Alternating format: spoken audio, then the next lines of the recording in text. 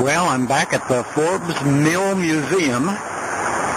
Going to take a walk from here with Carl Essex, my friend from church.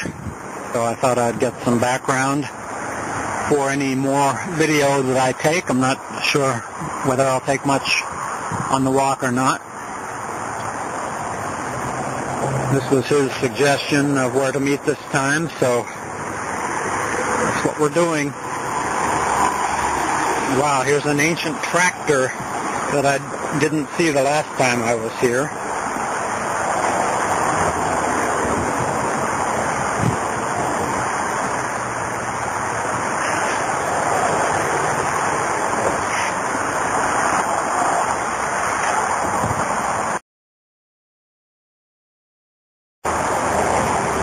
The museum is not open. Uh, it's Monday, July 11th, and it's only open Wednesday through Sunday.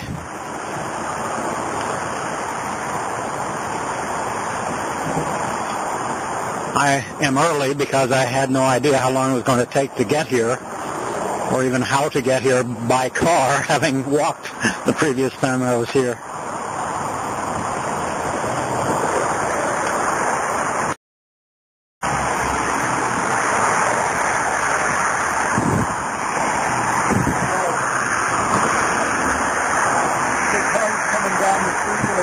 Yeah.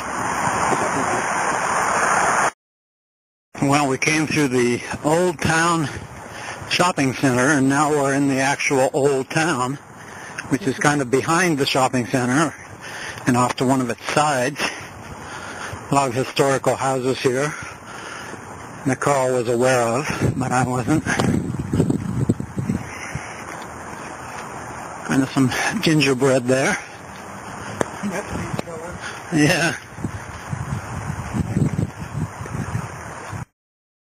The shingle style house was built in 1886 by John Myers.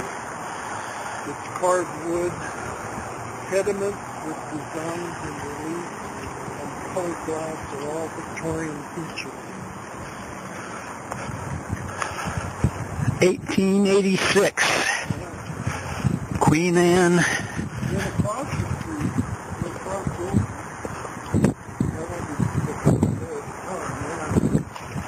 Second Street has been renovated. New roof. Christian chamber. Feel like I'm in Cape, Cape May. And across the street, 21 is uh, A. Junior House. Another Queen Anne style. It's built in 1892 by Francis Lee. Mr. Shinkle, the pharmacist, purchased the home in 1898. He was a member and later president of the Board of Trade, now called the Chamber of Commerce. Yeah, this is really highlight, highlight here in uh, 1898. Well, it looks like beautiful yeah. So where we going? Beautiful inside and out. Well, we keep going up.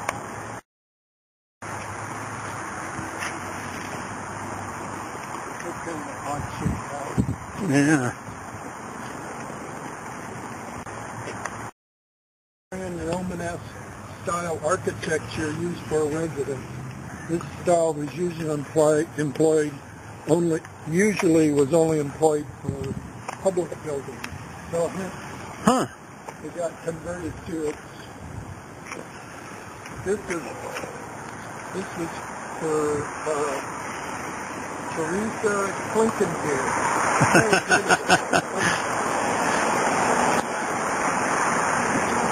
Victorian Romanesque. Dated for 50 years. Is the lone survivor of a line of ground downed houses that ran from Green Avenue to Fort River. Built in 1891. 1891 was a funeral home for most of its years and apparently is a restaurant now, although I'm not sure of that. Palatio. They had to make it into block it up with a restaurant. yeah. But it was the mortuary from about Wow. 50 years.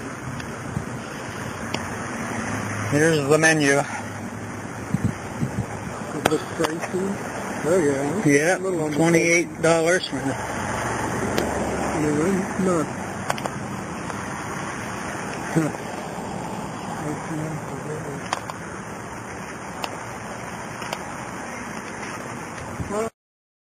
Residential architecture. It's used to shed snow. That's one of the They don't get oldest houses we've seen. 1885 was owned by a pharmacist for a long time. Small town life.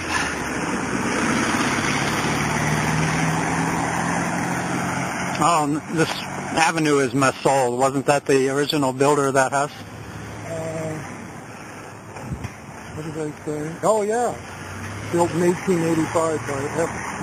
Mosso. Mosso. Yeah. But it was named, it's called the Watkins House for its second owner. He was a pharmacist. We had to take a look at this old lot here that has just grown up in weeds, but it's probably worth a million dollars. Nice view of the hill over there.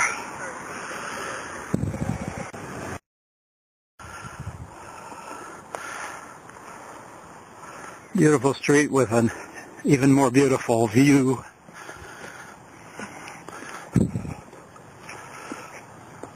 Under that huge tree. Malpas Taylor House. Alfred Malpas was the manager of the Los and Saratoga Fruit Company. This house was built in the early 1890s, possibly for him. It is noted for its decorative facade and spectacular stained glass windows. In 1947, Lawrence Taylor, a minister, purchased the property. Badly damaged the 1989 earthquake, it has been beautifully restored by builder Tim Lent- Lentz. It is now owned by benefactors of Batesville. They allow Taylor's wife and daughter to live there until their death. Wow. Huh. So I don't know what they're looking now, just rented or looks like somebody's living there at least. Yeah, it looks occupied. I love this chain and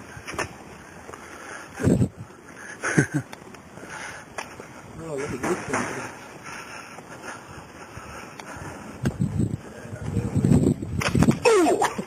boy. Didn't think I was going to survive that one without taking it on my elbows. Ooh.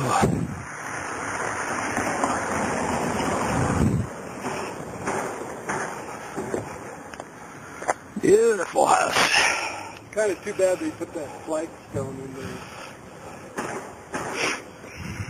Kind of out of character with Yeah. all the rest of, you know. Yeah. This, this is kind of all right, but even that's kind of out, uh, washed stone. It is a neat house. It's got a lot of nice stained glass windows in it. yeah. A couple of them you can see. The original features of the two-story house remain. Ornamental pediments and cornices and the slender porch pillar. It's built in 1893 by D.C. Crummey, the son-in-law of John Bean, who invented the Bean spray pump and founded a firm of that. Huh. Crummey's son John turned the company in 1900 was the home of George Hook, owner of the Los Gatos Canning Company from 1894 to 1906. Mr. Hook was one of the first Los Gatos residents to install electricity. Huh? Had to take this one mainly for the flower garden.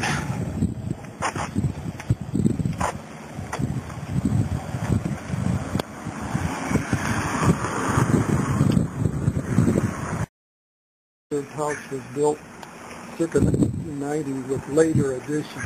Yeah, you can see they added the thing on top. around 1896, was one of the first dentists in Los Gatos. Huh.